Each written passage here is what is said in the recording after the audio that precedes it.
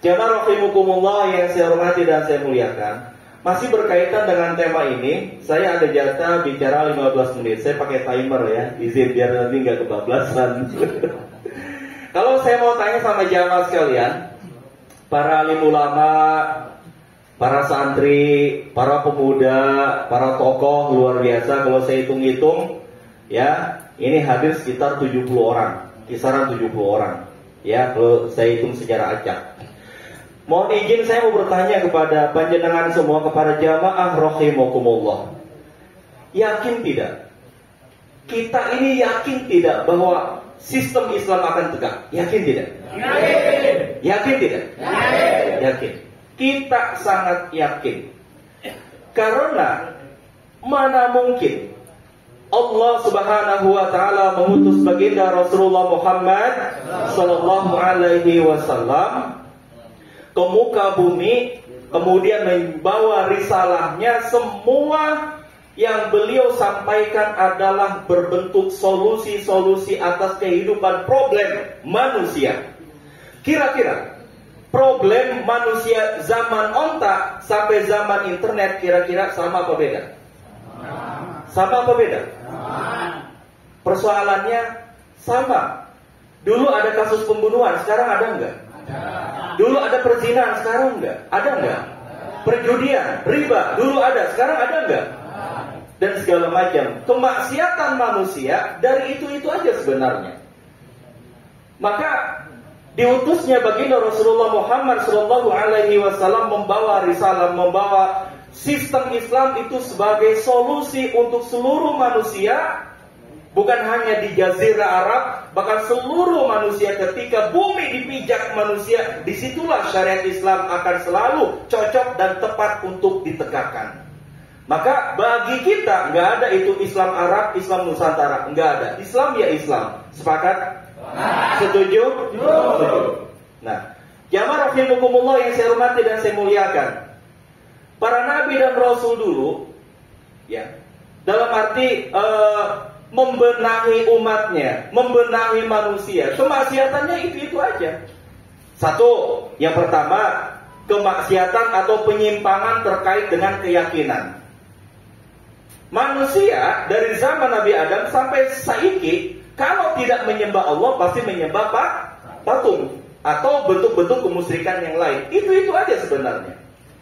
Maka solusi Islam dalam meluruskan keyakinan umat Islam hadirlah baginda Rasulullah Shallallahu Alaihi Wasallam untuk meluruskan tauhid manusia, keyakinan manusia bahwa tidak ada Tuhan selain Allah dan beliau adalah Rasul yang diutus sebagai Nabi terakhir, walaupun terakhir beliau sebagai pemimpin para Nabi dan Rasul. Masalah akidah dibentuk, ditanam secara kokoh dan kuat. Jernih, akidah itu jernih. Nggak boleh ragu-ragu.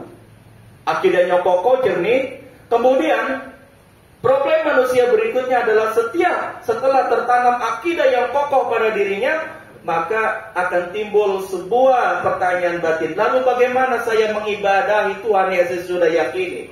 Tuhan yang tidak ada Tuhan selain Allah. Maka solusi berikutnya adalah Rasulullah mengajarkan tentang ubudiyah.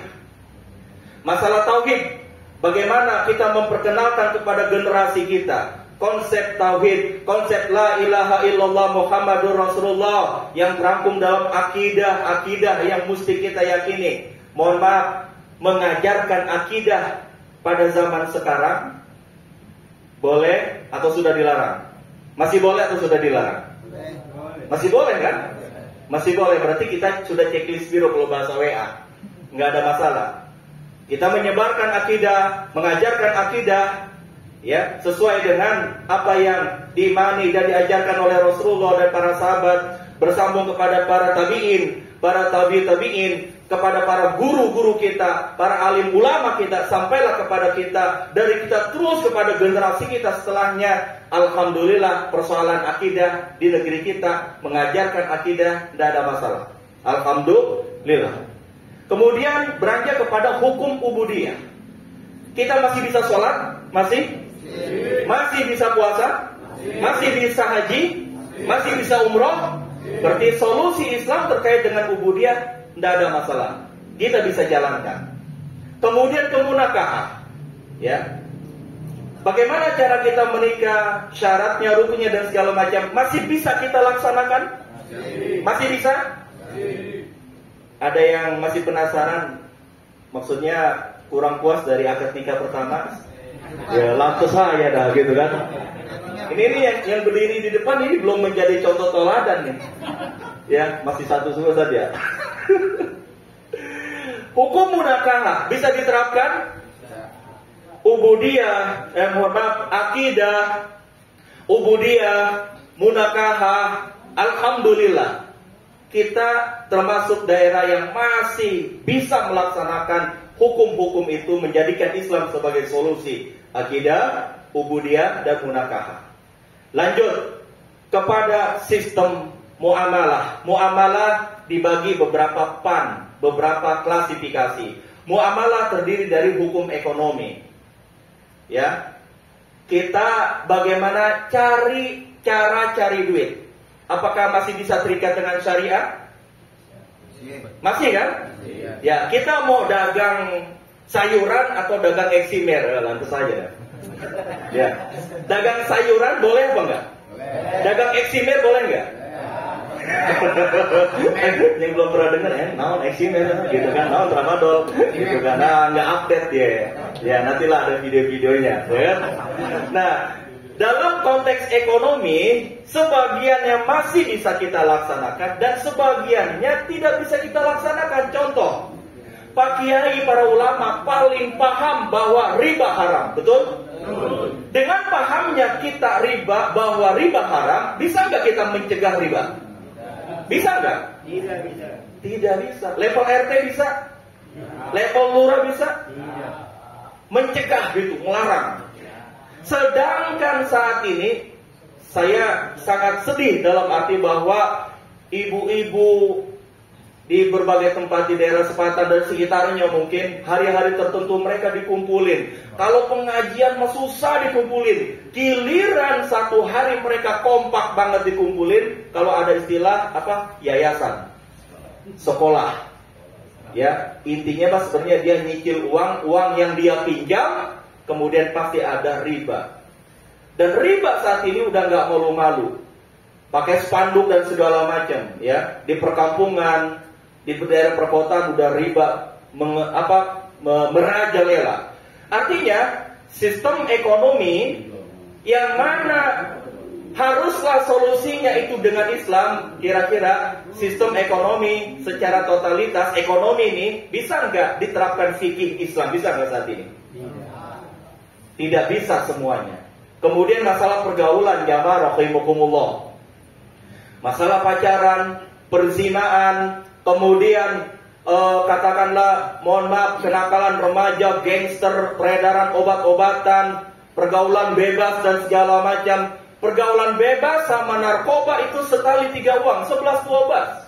Gak mungkin ada pergaulan bebas kecuali di dalamnya itu pasti ada narkoba dan segala macam. Pergaul masalah ekonomi, masalah tatanan sosial, belum lagi takzim kepada para alim ulama tiap tahun mengajarkan kitab Fatul Mu'in di dalamnya ada segudang masalah hukum hudud dan jinayat. Kira-kira saat ini bisa ditegakkan? Bisa ditegakkan? Tidak bisa jamaah rahimakumullah. Oleh karena itu, berdasarkan keyakinan kita bahwa Islam ini pasti tegak, maka dengan dakwah kita bersama, insya Allah entah generasi mana ya artinya entah mungkin kita masih hidup atau mungkin nanti anak-anak kita yang jelas syariat Islam ini pasti tegak dan akan menjadi solusi dan menjadi rahmatan lil alamin takbir Allahu Jamaah Allah sudah 15 menit. Saya mohon izin 2 menit lagi ya. Ya lantas saja, tetap aja merembet kan begitu. Ya. Uh, Jamaah Allah yang saya hormati dan saya muliakan. Ya, saat ini banyak orang latah copras, capres, copras, capres dan segala macam. Berbagai karakter pemimpin di negeri ini, semua karakter itu sudah pernah ada. Karakter kiai udah ada, perempuan udah ada, militer udah ada, intelektual yang cerdas sudah ada. Nah, Ternyata jamaah rahimakumullah masih banyak umat yang belum tahu bahwa bukan hanya masalah sosok itu siapa. Dalam kepemimpinan Islam ada dua hal yang berpengaruh. Pertama, memang sosok pemimpin menjadi sebuah faktor penting. Sosok pemimpin. Ya, dari tiga copras capres ini kita tidak akan membahas karakter mereka, ya. Yang jelas bahwa di dalam kepemimpinan Islam, hal yang pertama yang penting adalah bahwa sosok pemimpin itu sangat penting. Ya. Tapi banyak orang yang lupa di samping sosok pemimpin, yang kedua adalah bagaimana sistem itu nanti dia jalankan. Kira-kira siapa pun presidennya nanti akan menerapkan syariat Islam tidak? Akan menerapkan syariat Islam tidak? Tidak akan menerapkan syariat Islam. Ya, karena apa? Karena masih dalam lingkaran demo demokrasi. Makanya dalam konteks uh, majelis kita pada malam hari ini bukan diarahkan kepada copras capres, tapi kita ingin menggali, ingin menggali bahwa persoalan masalah kepemimpinan bukan hanya sosok pemimpinnya, tetapi yang lebih penting itu adalah bagaimana sistem itu diterapkan, yaitu syariat is Islam. Jamaah rahimakumullah, karena keterbatasan waktu, keterbatasan waktu, kalau kita bicara perjuangan syariat Islam agar ditegakkan secara kafah, ditegakkan secara kafah, kira-kira menurut panjenengan dan jamaah rahimakumullah, ini siapa yang sebenarnya harus di depan dalam rangka memperjuangkan syariat Islam? Kira-kira siapa yang paling di depan? Siapa yang paling di depan? Haruslah ulama. Oleh karena itu mohon para guruku sekalian, bukan kita nyelongcong, duduk di depan sini dan segala macam. Ini perlu kita ada satu pemahaman bahwa perjuangan kepada syariat Islam untuk solusi yang kafah itu butuh regenerasi. Ya. Tadi saya katakan banyak guru-guru kita yang jenggotnya saja udah pada putih semua, itu kan indikasi. Indikasi bahwa sudah masuk usia uzur. uzur. Kalau panjenengan semua para kiai, para alim ulama tengoklah di, di kiri kanan ini anak muda semua. Ini anak muda semua. Ya. Artinya apa? Kita mohon dukungan dan doa restu. Kalau bisa ulama di depan, kita di belakang, kita akan mempertaruhkan nyawa kita untuk mendukung ulama yang secara apa? Takbir. Ini bukan Alah, anak muda tahu apa sama syariat. Bukan masalah kayak gitunya. Regenerasi itu penting. Guru-guruku sekalian, mohon maaf, guru-guruku sekalian bakal mati nggak? Bakal mati nggak? Butuh generasi? Butuh regenerasi? Karena Islam ini adalah milik umat, ulama memiliki Islam, para generasi muda juga memiliki Islam. Islam adalah tanggung jawab kita bersama. Takbir! Nah, jamaah rahimahullah, udah 19 menit. Masya Allah, saya merasa zolim nih. Yaudah, itu saja yang saya sampaikan. Intinya, kenapa kita masih terus terobsesi, bersemangat, ngotot dan ngotot? Karena menurut keyakinan kita, Islam bakal tegak. Tapi pada faktanya saat ini, Islam belum kafah. Sepakat?